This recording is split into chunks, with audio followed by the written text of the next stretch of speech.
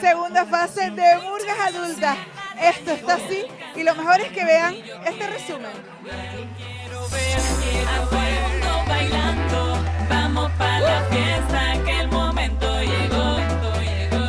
Bueno, el objetivo que tenemos es que salga como los ensayos, es el único que pido.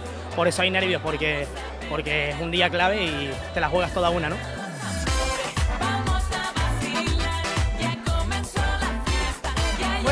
Bueno, pues ahí estaremos muy pendientes. Que además yo diría que para las redes sociales de Radio Televisión Canaria tenemos alguna sorpresa preparada. ¿Alguna sorpresa? Nos aprovecharemos. Que estén pendientes de la actuación de Tras Contras, que hay sorpresa. ¡Ja! Ahí es nada, Robert.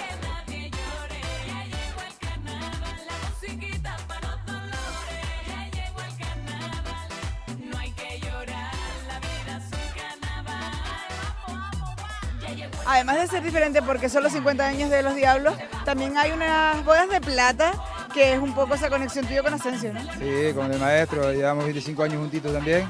Y bueno, también este año el relevo también de, de mi hijo que coge también la murga, aparte de, de mí. Y bueno, este año es un cúmulo de muchas cosas que esperamos disfrutarlo durante todo el concurso y los carnavales.